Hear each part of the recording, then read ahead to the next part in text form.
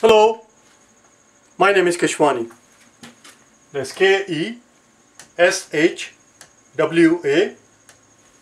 Keshwani. We are here because we want to improve our math skill. Today is our lesson number 207 in the series of basic math. Today we'll have our seventh video in the series of 15 on the topic of Venn diagram. The problem as you can see is already on the blackboard. Let's take a look, shall we? We are told that we we surveyed, we, were, we, are told that a survey was done, a survey was conducted of 900 students. 900 students on college campuses were asked as to what they do in their spare time for fun. What is their leisure activity? What is their leisure activity? What do you, what do you like to do? Turns out 40% of people said they like listening to music the, as, as a leisure activity. 30% said they like to play sports. And 75% of them, them said that they like to get high, whoa, high as a kite. Oh, no, no, no, they don't want to get high as a kite. No, 75% of people did not say they like to get high as a kite. That's not what we said. They like to, they like to fly a kite. How about that? That's much better. Okay? So they are into kiting. And no one likes none. Furthermore, we are told that no one likes none. This is a very important sentence. No one likes none. What does it mean? It means that everybody, all 900 of the students said that they like at least one of these three activities. One more time, no one likes none. In other words, everybody likes at least one activity of these three activities. That's, that's, that's another way of saying, another way of saying this thing is that everybody who was surveyed indicated at least one of these three activity as their favorite activity. Either listening to music, playing sports, or getting high as a kite, or flying a kite. Do you understand? 35%, 35% like exactly two activities. Of these people who were surveyed, 35% of people said that they like exactly two of these three activities. The question is very simple, very straightforward. The question simply is, how many of these students who were surveyed indicated that they like exactly one of these three activities. Not two activities, not all three of the activities, but exactly one activity is right there. Here are the answer choices 315, 375, 390, 540 and 585.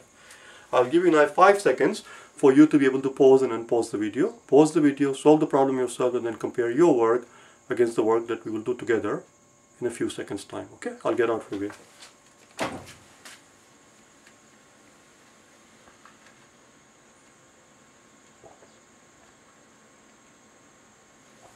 Well, let's see what we can do, shall we? Let's see what we can do. Let's add up all these figures here. Now, they're telling us that we have 900 students. It's not necessary for us to waste our time trying to figure out 40% of 900, 30% of 900, 75% of 900. It's not necessary. It will be an utter, sheer waste of time. Pretend that there are only 100 students. The, we'll multiply our answer at the end by, by 9.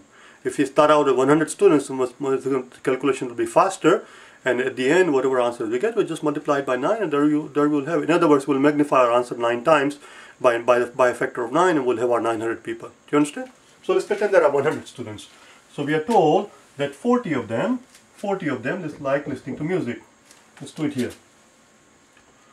40 of them like listening uh, listening to music. 30 of them like to play sports. 30 of them like to play sports. 75 of them 75 of them like to fly a kite because they are very nice kids. Five, we have five, three plus seven is 10, 14. Unless I made a mistake, I'm coming up with 145. We are further told, we are further told that 35 of these students, listen very carefully, this is where, this is where things get tricky, this is where you have to understand the problem. We are further told that 35 of them like exactly two activities. What does it tell us? That there are 35 people out of this 100 people, out of this 100 people, 35 of them, we are told, like exactly two activities. Well, if they like two activities, then when we counted the number of people who like, when we counted the number of people who said that they like listening to music, there were 40 people. There were 40 such people out of 100 who said that they like listening to music. Then we asked the same 100 people if you if you if you like to uh, play sports in your spare activity, and 30 of them said yes, we like to play sports. Perhaps I did not set up the problem in the beginning properly. And then we asked the same 900 people, okay? So in other words, a survey was done which contained three questions on it. Do you like to play? Do you like to listen to music in your spare time? Question number one. Question number two, do you like to listen to, do you like to play sports in your spare time? 30, 30 people out of 100 said yes. And 75 of them said yes, they are into kiting. Yes, they like to fly a kite out of 100. This number that you see, 145, contains these 35 people who are members of two groups. These 35 people, first they said that they like one activity, and then the same 35 people were counted again because they also like the second activity. Because we are, here we are counting on people who are, who are engaging in one of these activities. The people who are engaging in two activities are counted twice. First as a member of one group, then the same 35 as a member of another group. There is a double counting going on. There is double counting going on because they, played, they, they are engaging in two activities. Because there is double counting going on, to account for it, we have to subtract 135 from it. We have to subtract a 35 from it because we counted these people twice. To account for that, we have to take away 35 people. Now we are left with 110.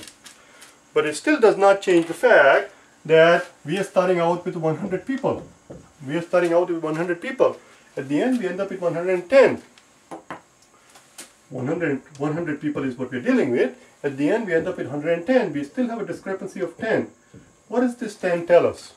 What does this 10 tell us? Now this is the part, if you are having still, if you're still having trouble, if you're still having trouble understanding this thing, that tells me that you have not been watching these videos in the proper sequence. On day number 5, on 5 and 6 I believe it, or 4 and 5 I think, 4 and 5, on, on 4 and 5, this is the seventh video in the, in the series of 15, in 4 and 5 we learn the concept of double counting and triple counting. This is where we learn how to deal with this number here. What does this 10 tell us? This 10 tells us that if we have 5 people, we have 5 people who were first counted as people who like to play music, and then the same 5 people were counted again as people who like to play sports, and the same 5 people were counted again for the third time as the people who like to fly a kite. These 5 people appeared in our counting as 15 people. This has nothing to do with this 35. This 35 is the people who like exactly two activities. Exactly two. You see, that's why this word is important. These five people like exactly three activities and therefore they were counted first as a group of people who are into music and the same five people were counted again as people who play sports and the same five people were counted again as, as the people who like to fly kite. As you can see they were counted at 15. Because of the fact that five people were counted as 15 we will have a discrepancy of 10. That tells us we have 5 people who play 3 sports. There are 5 people who are engaged in all 3 sports. Let's make a note of it. 5, 5 play all three, well not play but rather engage in all 3. 5 like all 3 five of them like all three. Let's do a Venn diagram now, shall we?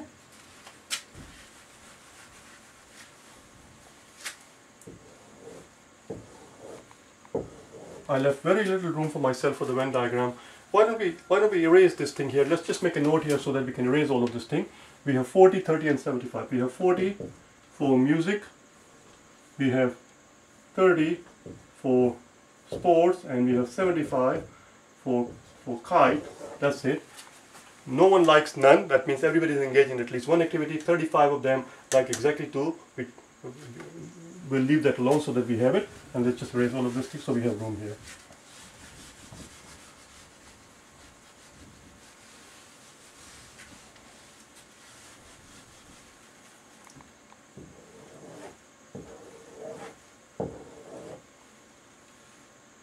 music, sports and kite.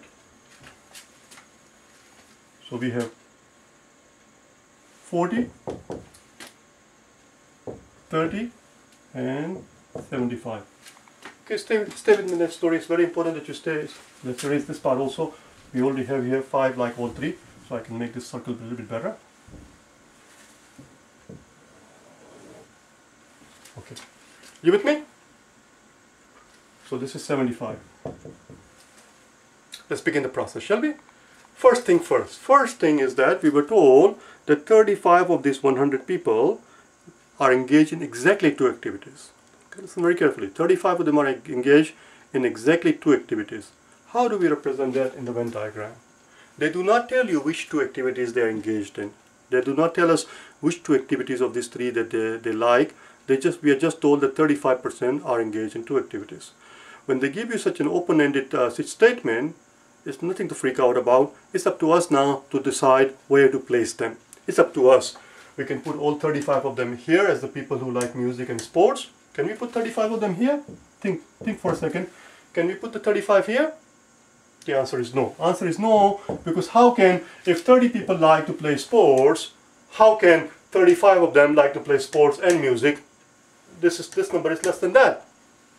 Do you understand? If 30 people like to do, like like to like to uh, engage in, uh, like to listen to music, then out of those 30, 35 cannot also like this. What this says is that 30 people play sports 30 people play, play sports and of those 30 people of those 30 people 35 of them also like to listen to music. It makes no sense. This number cannot be higher than that. Can we place can we place the 35 here? Answer again is no. Answer again is no because what this tells us is that there are 30 people there are 30 people who like to play sports and of those 30 people 35 of them also like to play also like to fly kite. But how can 35 people out of 30 like to fly kite? 35 is more than 30. 35 cannot go here. Can we put 35 here? Yeah, that would work. That would be just fine. So let's do it, let's do it this way first, and then we'll do the other way, shall we? Let's do it this way first. As soon as we put a 35 here, we have 40 people who like to listen to music. We have 40 people who like to listen to music, of which 35 also like to fly kite. As soon as we put a 35 here, you have to take away 35 from here. Let's change the color so we can see it.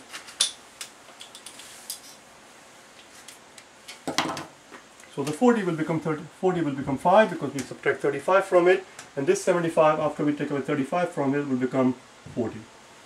That's it. At the end now, we're not quite done yet. We also know that 5, 5 of them like all 3 five of the people like all three. So we put a five here because they like all three. This is the all three part. They like all three activities. Which means these five people are from here. There are five people who like music that are sitting here and they also like, these five people also like sports and kiting. We take away five from here and then now there is zero. You with me? We take away five from there and it becomes 25. There were 30 people who like to play sports of which 5 also likes to do music and kiting. As soon as we put a 5 here, we have to, this 40 becomes 35. That's it, there's your answer. There's your answer. The question was, how many of them, how many of them are engaged in exactly one activity? Here's your answer, this is zero. There is nobody who likes just the music. There are 25 people who just like sports and there are 35 people who like kiting. That's it, we're done. That's it, we answered the question. 30, there are 35 people who like only the kiting. There are 25 people who like only the sports. So here we go. 25 is only sports and 35 is only kiting and that's a 60 now remember this is 60 percent 60 percent of 900 the question is how many? So all we have to do is figure out 60 percent of 900 that's very straightforward. 60 percent of 900 is very straightforward. 450 is the 50 percent of 900 and 10% of 900 will be 90, so 90 is equal to 10%, and therefore we are done.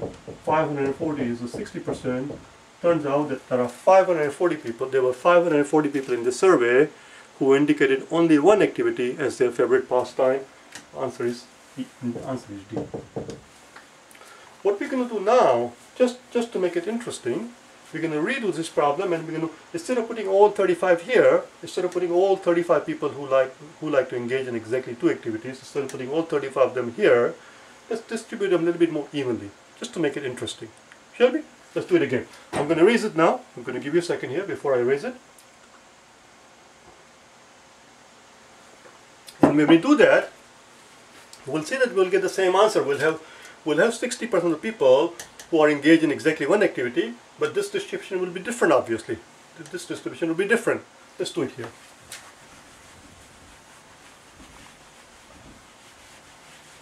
Very quickly, okay? We take, I'm taking too long. So here's our music, here is our sports, and here's our kiting. Music, sports, and kiting. We had 40, 30, and we had 40, 30, and 75. So this time we'll do it fast, but we'll also give you some practice. So we have 35 people who are engaged in exactly two activities. So let's put 35 here. I'm just going to divide them evenly. How about 10, 10, and 15? 10, 10, and 15. Let's just keep it simple. 10, 10, and 15. That should cause no problem because 10 is less than 30. As soon as we put a 10 here, 30 becomes 20. As soon as we put a 10 here, 40 becomes 30. As soon as we put a 10 here, 75 will become 65. So that 10 is taken care of. Now let, let's look at this 10. What? Let me start again. Just, let's not do 10 at a time. It will be, it will be, it will not be very, it will be very difficult to keep track of our work. Let me start again. As soon as we put distribute this 10, 10 and 15, 10 plus 10 is 20, 20 plus 15 is 35, we have our 35. As soon as we distribute this figure here, we have to go back and adjust this 40. This 40, out of these 40 people who like to play music, they also like sports, 10 of them also like sports, and 15 of them also like kiting. 10 plus 15 is 25. You have to subtract 25 from 40. Let's do it in one step. We subtract 15 plus 10, 25 out of 40, we end up with 15. As soon as we put a 10 here and 10 here, the 30 will become 10. As soon as we put a 15 here and 10 here, that's 25. We have to take away 25 from 75, and it will become 50. Are you with me so far? Now we go back and put a 5 people who like all three activities. 5 people who like all three activities. And as soon as we put a 5 people who like all three activities, we have to go back and adjust our figures one more time. We have to go back and adjust our figures one more time. This 10 will become 5, this 15 will become 10, this 5 will become, this 50 will become 45. Because they're all coming from these people, people who like kiting. Out of the people who like kiting, 5 of them like all three activities, 15 of them like music and kiting, and 10 of them like sports and sports and kiting, and then there are 45 who like just the kiting. Let's put it up here now. So this 10 here, I'm going to circle them and we're going to write them. 10 of them, let me change the color to black, it's easier to read. 10 of them like music only. Five of them like sports only. And 45 of them like kiting only. You see the distribution has changed, but the answer has not changed. 45 plus 5 is 50, 50 plus 10 is 60, you still get 60. Now keep in mind that this 60 is a 60% of 900. Once we have 60%, once we have figured out that it's 60% of people once we have figured out that 60% of the people in the survey uh, uh, said that they engage in only one activities, all we have to do at the end is to just multiply, just figure out what 60% of 900 is, instead of worrying about 900 from the very beginning. Worry about the 900 at the very end. 60% of 900 is 540. I'll see you tomorrow, okay? Bye now.